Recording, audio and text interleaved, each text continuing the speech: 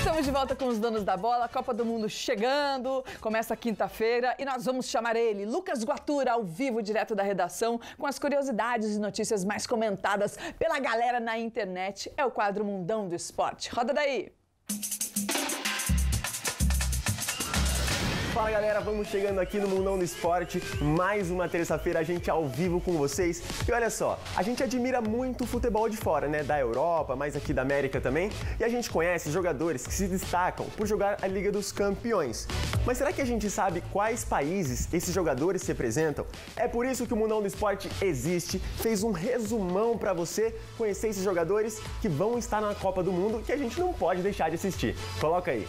Começamos pelo nosso Brasil, que tem Neymar, o cara que é mais pressionado para trazer o Hexa para casa. Na Alemanha, Tony Kroos, que tava no 7 a 1 nesse ano é o principal nome da seleção. No Egito, claro, ele, Mohamed Salah, é a esperança. E por falar nele, nesse vídeo mostra o jogador tirando a mão de um fã do ombro que ainda está lesionado, tanto que o técnico já disse que Salah é dúvida para a estreia na Copa. Agora em Portugal, quem? Só podia ser ele, o monstro Cristiano Ronaldo, a estrela do time. Griezmann, no meio de tantos craques, é quem se destaca na seleção da França, mesmo Mbappé vindo com tudo. Agora, no meio dos nossos hermanos, nem precisamos falar sobre. Luizito Soares, companheiro de Messi, vem com tudo na seleção do Uruguai, herói do único título mundial da Espanha, Iniesta é a referência, Harry Kane, jogando muito pelo Tottenham, é o astro da seleção inglesa,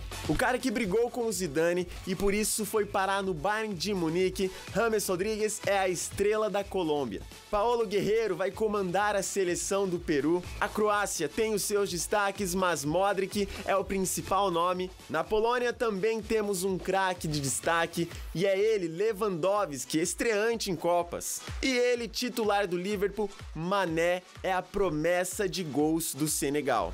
Tá vendo? Tem muita gente que joga uma bola. A gente conhece quem? Neymar do Brasil, Cristiano Ronaldo de Portugal e Messi da Argentina. Mas é muita gente que vai estar presente nessa Copa do Mundo pra gente. E é isso, gente. Eu vou ficando por aqui. Se você aí de casa tiver uma sugestão, pode mandar no nosso Facebook, que é o facebook.com barra os donos da bola vale. Eu vou ficando por aqui. Tchau, Andressa. Tchau, Carmo. Tchau, galera de casa. E até semana que vem.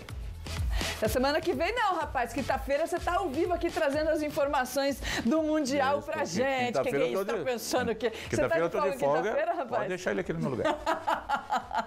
Boa sorte pra nossa seleção, né? Agora de volta pra cá, Liga Paulista de Futsal, o Ioca entra em quadra essa noite quando receberá o Barueri. O jogo será às 8 da noite no ginásio do Itaguará. Carmo, o time de Guará ocupa a 12 colocação na tabela geral, é. enquanto o adversário está na sexta posição. Só que jogando em casa não adianta, precisa mostrar força para continuar subindo na tabela, né? Só que o Ioca não faz um bom campeonato até agora, né, André? É, tá, tá, abaixo daquilo que se esperava, né? Com as mudanças feitas, não está rendendo. Mas, né, vem de derrota pro Corinthians, aquela coisa toda, tem que buscar de novo aí a, a volta das vitórias e nada melhor do que jogar em casa, né? Com o uhum. apoio da torcida, belo ginásio do, do Itaguará, Itaguará Country Club, que é um ginásio realmente muito bom, bacana, e aí dá para fazer um bom jogo e torcer para uma vitória, né? Porque o Barueri não é assim, André, da, pode estar numa situação melhor de classificação, mas não é assim uhum. um, um, time que você possa imaginar daqueles top, né, do, do, do futsal paulista. Então, buscar a vitória aí que tá legal. Vocês viram o pessoal cumprimentando, que a gente tem um estúdio aqui, um aquário, o pessoal passa cumprimentando a gente o tempo inteiro. Carmo, opa! Não, eu tava falando aqui. Não Antônio Carmo, por falar em comentário, né, em pessoa bacana, amanhã a gente recebe aqui no programa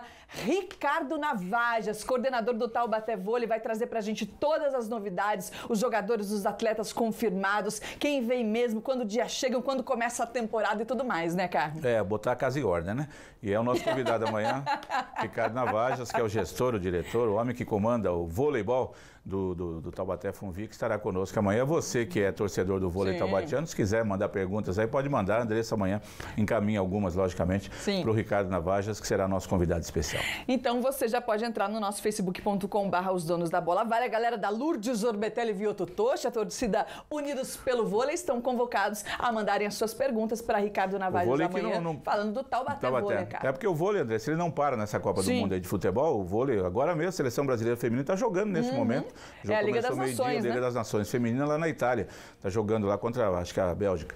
É, o masculino joga no, no- no final de semana também. Tem mais duas semanas ainda de, de- de fase classificatória Uhum. para depois entrar na reta final e disputar. E lá estão jogadores, Jogadores nessa seleção que, que vem para o Taubaté, né? Que estarão vestindo a camisa do Taubaté. Aliás, o Thales, líbero, está jogando uma enormidade. Está arrebentando, está jogando demais na seleção. Crescendo cada vez mais e é do Taubaté Vôlei. Agradecer aqui ao Luiz Felipe Trindade, Solange Rachid, Rogério Salles, Clemilton Freire, Ronald Alves também, o Moisés Faria. Vamos receber seu recado aqui, a gente tá de olho, tá bom? Obrigada pela audiência. Amanhã a gente volta meio-dia e meia. Cara. Então, André, até amanhã, gente. Adeus!